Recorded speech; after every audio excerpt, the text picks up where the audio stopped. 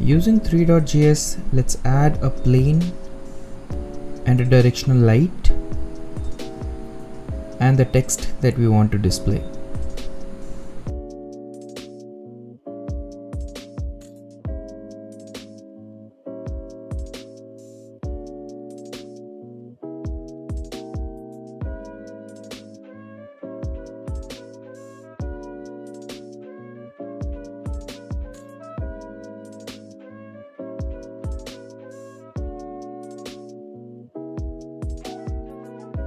Let's find out how we can get the location of the sun using JavaScript.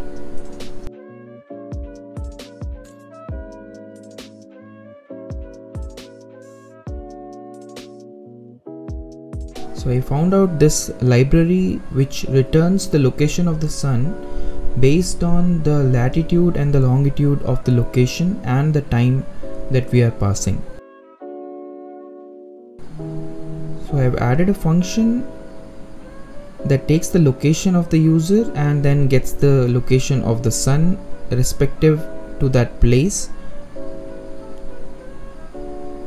And we will add a light and that light position will give according to the location of the sun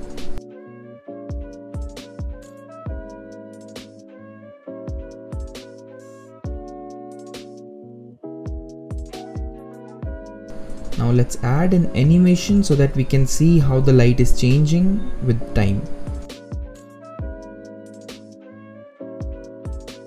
Okay, now we'll focus on how we can get the direction on phone. Since phones have the GPS and it can tell you which direction you are pointing to, we can use that and modify the location of the sun based on that.